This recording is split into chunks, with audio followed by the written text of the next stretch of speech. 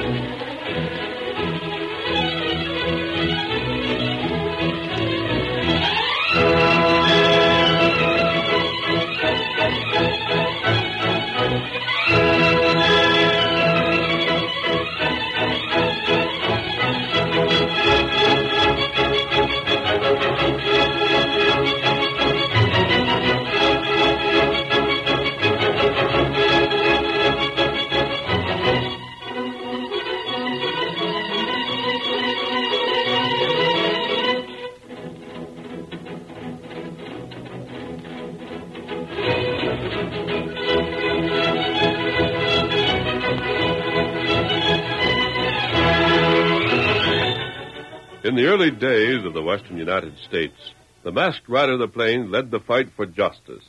He was the greatest champion of law and order the frontier ever knew, and his strength and courage were always at the service of the weak against the strong. It was the famous masked rider more than any other man who made possible the winning of the West. Return with us now to those thrilling days of yesteryear. From out of the past come the thundering hoofbeats of the great horse Silver. The Lone Ranger rides again. Come on, Silver! The Indians are on the warpath! We've got to hurry! Hi-yo, Silver! Away!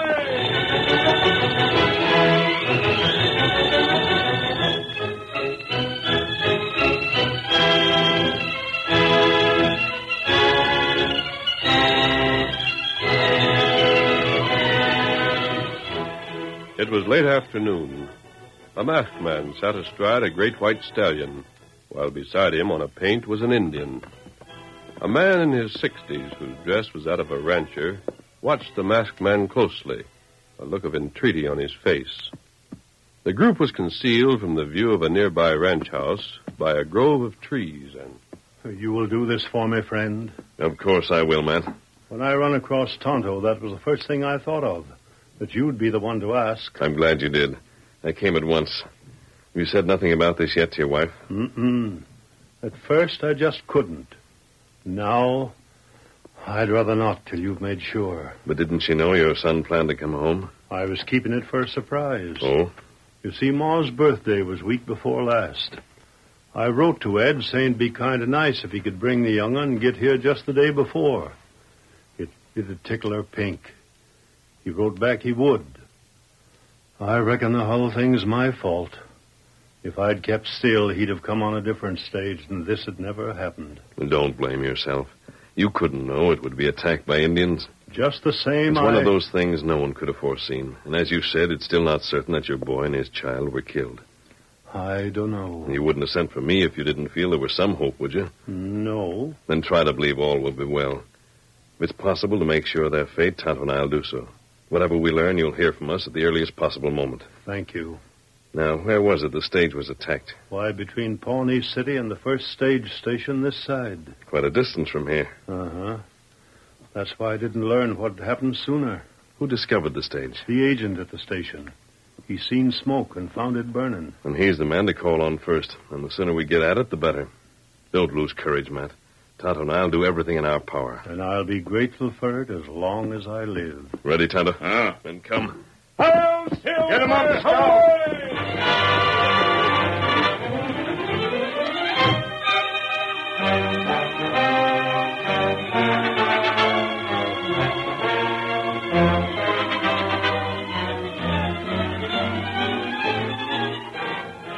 Many miles distant, at the other end of the state, was the little village of Cottonwood, not far from Pawnee City.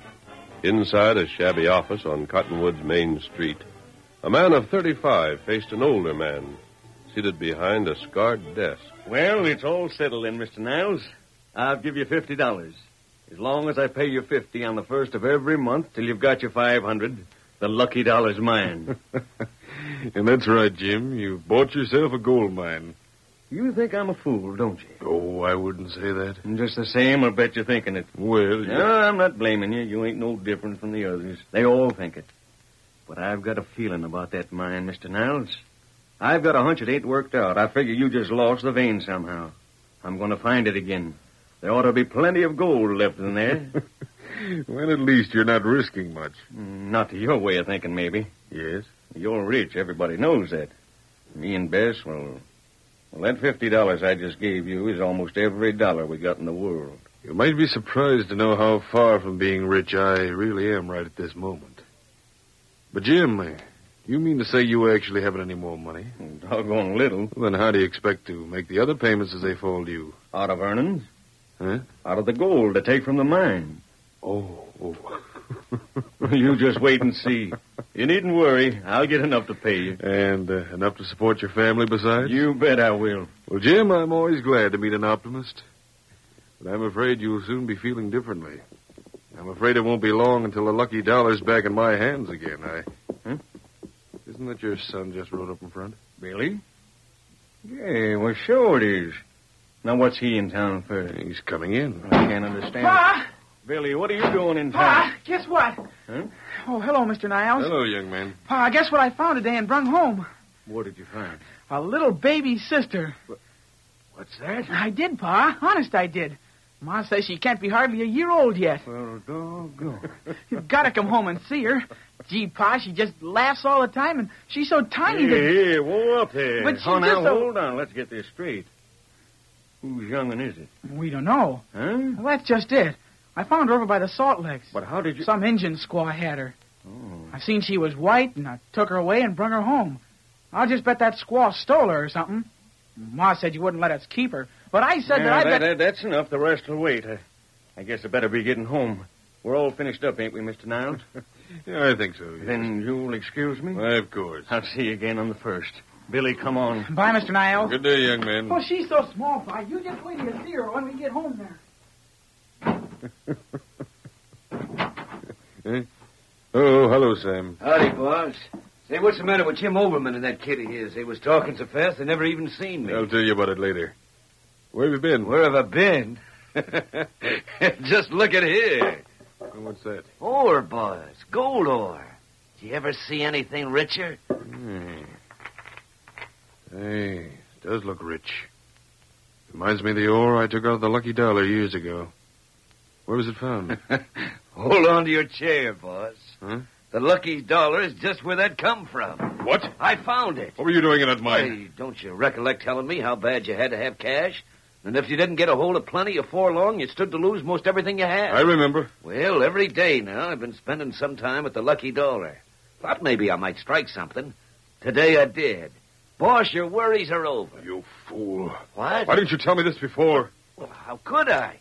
What's wrong? Everything. Huh? If I'd known this two hours ago, that mine would have saved me. Two hours ago, but what? But now it's sold.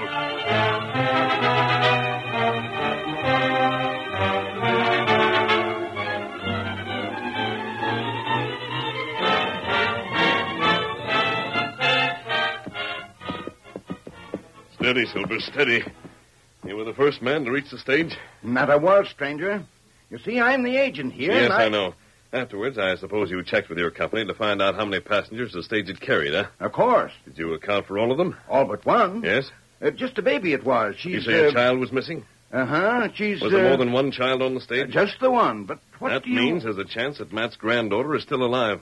Was the search made for the child? Sure, but it never came to nothing. What Indians were supposed to have attacked the stage? Apaches. The soldiers said it was most likely some of Crazy Wolf's brave. Where are they now? Huh? Nobody knows. Right afterwards, the whole tribe just up and pulled stakes. Uh, but look here, stranger. Come on, Silver. Hurry, old fellow. Hurry. Well, doggone.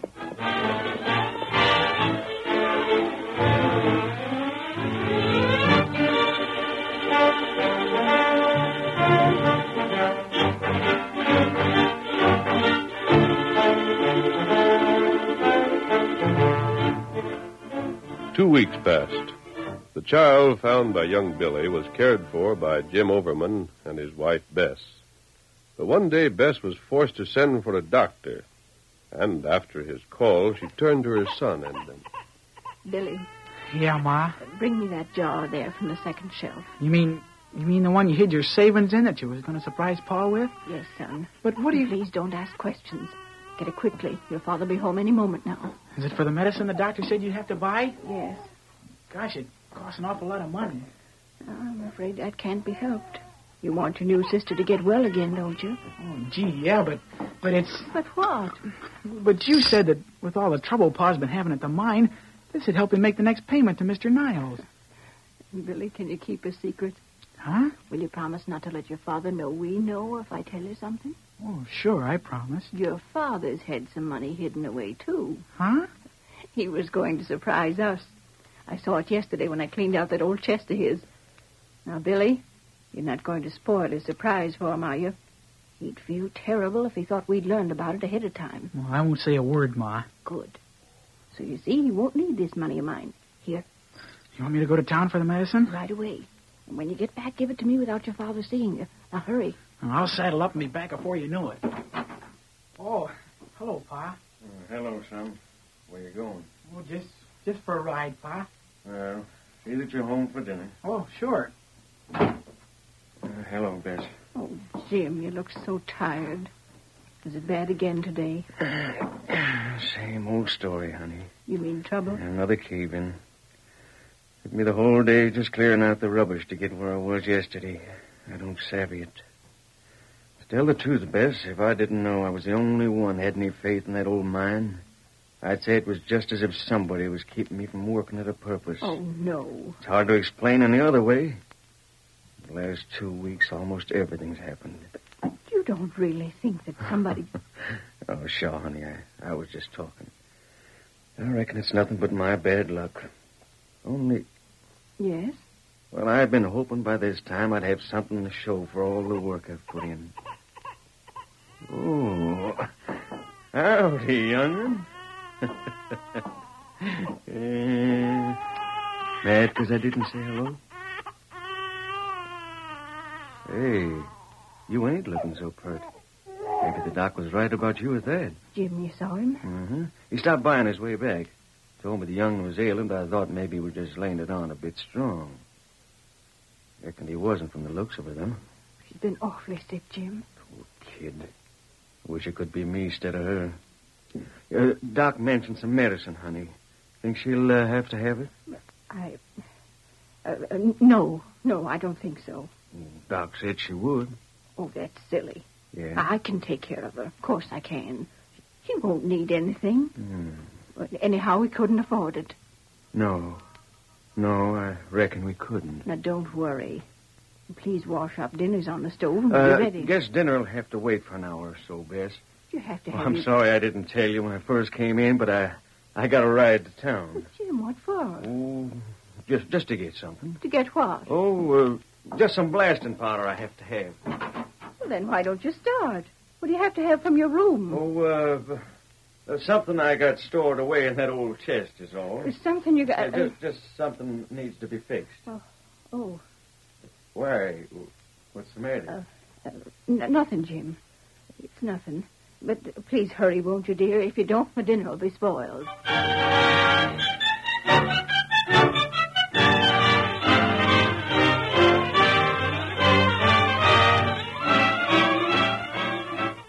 The curtain falls on the first act of our Lone Ranger story. Before the next exciting scenes, please permit us to pause for just a few moments.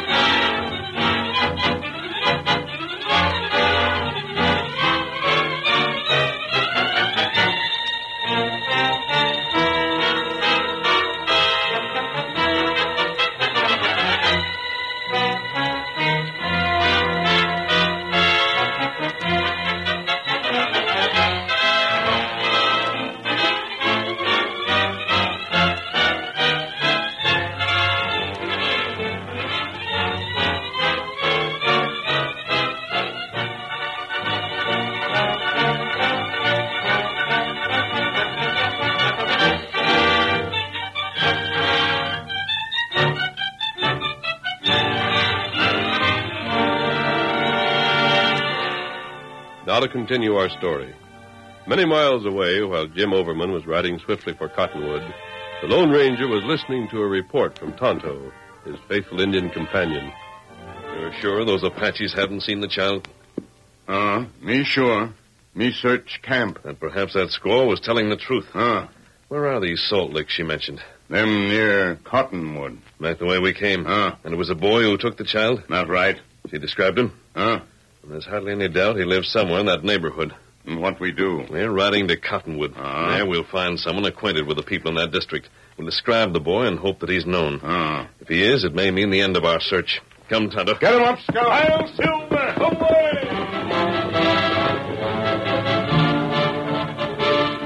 One morning, less than two weeks before the next payment upon the mine was due, Jim Overman said goodbye to his wife before leaving to start the day's work. Bess Overman, busy with the child, did not notice that her husband, contrary to his usual habit, wore a gun belt whose twin holsters were weighted with heavy Colt 45s. yeah, I reckon I'll have to get rid of the young'un, honey. Since she showed up, there's no attention paid to me around here anymore at all. Oh, silly. there. She's all nice and clean. You going now, Jim? Yep. Oh, how about the doc? He coming to look at the kid again today? He doesn't have to. She's well. Yeah. Doesn't she look healthy? Look at those red cheeks. My goodness, I wish I had her color. Never would have thought it, would you? What? That the young one would get well again so quick without that there medicine doc said she had to have, eh? Oh, uh, oh, yes. Yes, but I told you so, didn't I? oh, oh, sure. Jim, what are you laughing about? oh, nothing, Bess, nothing. Well, I reckon I'd better be running along. Yeah, see you later, young'un. I'll go to the door with you. Uh, Jim, wait. Those guns. I didn't see them before. well, uh, Why are you wearing them? oh, I just thought it uh, wouldn't be such a bad idea. Most fellas around here do, you know. Jim, please. Tell me the truth. I've heard you say a thousand times you didn't believe in always going armed. You wouldn't be wearing them now if you didn't have a special reason. Uh, Please tell me, Jim. honey, I guess you might as well know it that. The trouble I've been having at the mine ain't been accidental. You mean that... Somebody's behind it. But how do you know? How can you be sure? Told you how that new tunnel I started filled up yesterday, didn't I? Yes, but... Well, somebody got careless. That cave-in was caused by blasting powder. I found a piece of the fuse. Oh, Jim. And I've got a good notion who's responsible. Who? Mr. Niles. Somebody working for him. But don't you go telling anybody I said that. Well, of course not, You Jim. see, I got no way of proving it. But just the same, he gets the lucky dollar back if I can't make a payment again next month. I told him I figured to get those payments by mine and ore. Well, this would be one way of stopping me. But you said he wasn't interested in the mine. Why, if he were, he'd never have sold it. Maybe he got to thinking it over afterwards and decided I wouldn't have been so anxious to buy if I didn't know something. But he's rich. He He's in a mighty tough spot. He is? Leastways he is if he can depend on the things you hear. He's got to lay his hands on cash, plenty of cash. Seems like things have been breaking again him. He's going to have a right hard time pulling through. Well, gold will get you cash quicker than anything else in the world. Oh, it seems impossible. No more impossible than to have as much bad luck as I've been having without a reason for it. Then those guns. You're expecting trouble. Bess, I don't know. There, there's no time to talk about it now. I, I have to get along. But, Jim. Don't think about it, honey. Trouble comes. Yes? Well, if it does, I reckon it won't be nothing that six gun lead can't cure. Bye. I'll see you tonight.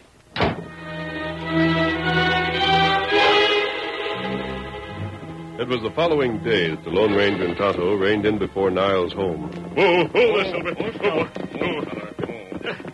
Stay with the horses, Tonto. Uh, Give me warning if anyone comes. uh, come to do it. Niles, What the? this isn't a holdup. Stay away from that gun. There'll be no trouble unless you make it. What do you want? Information. But what are you... I'll explain.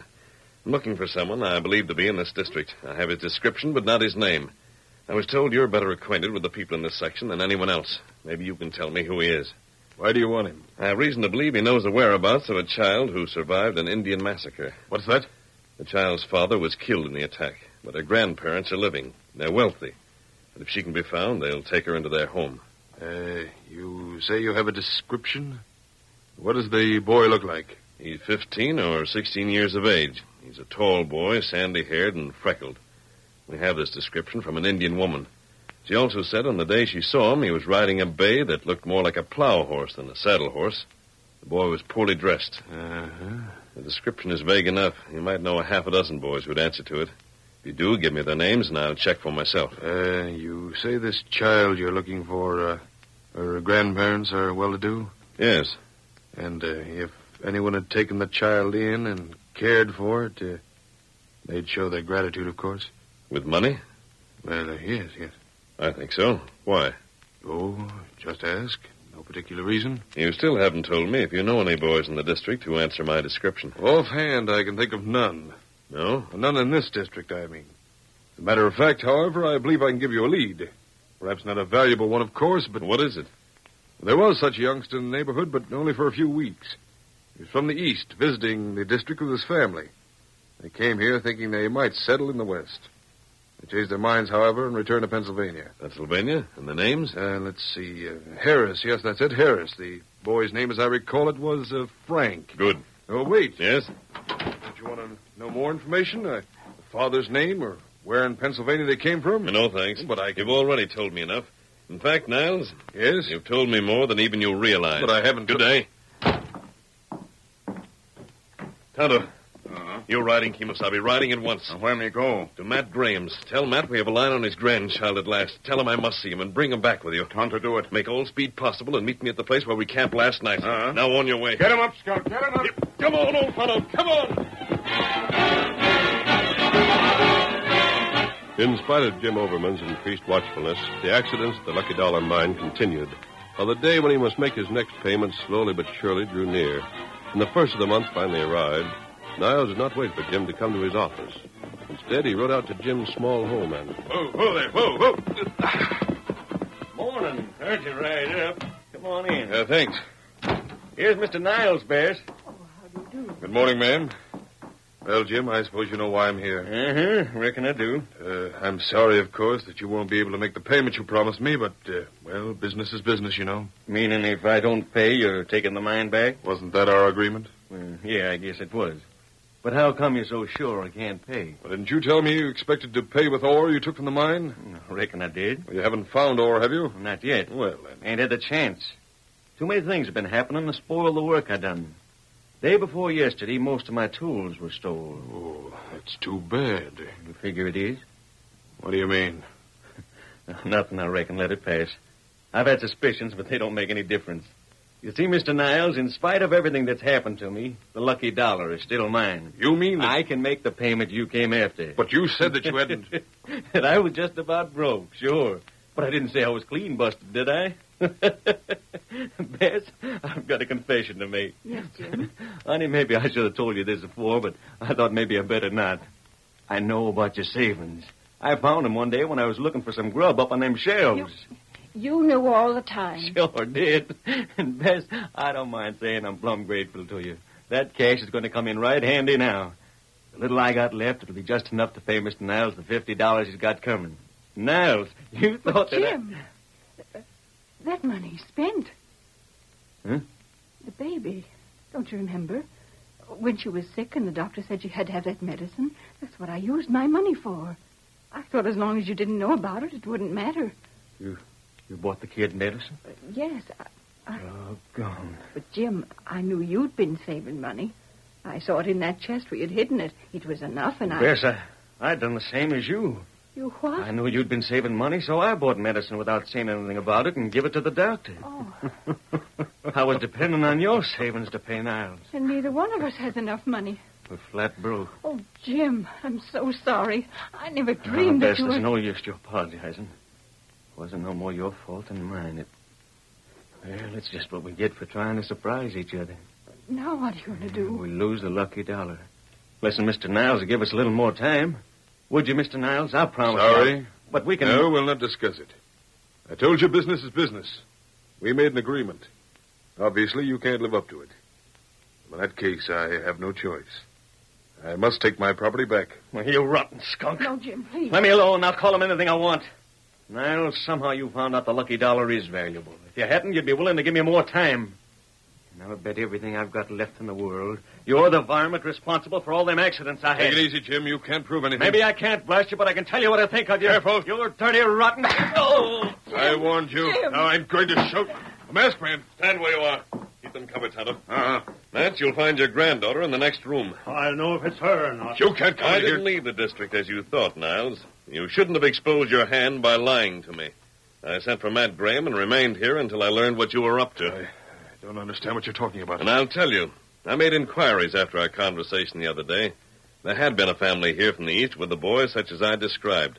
That fact might have misled me if it hadn't been for one mistake you made. Mistake, but I. You I pretended to know nothing about the child I was hunting for. And yet you knew a boy had found the child before I told you. That's ridiculous. I had said nothing that could have told you the child hadn't been found by a man. And yet you asked me what the boy looked like.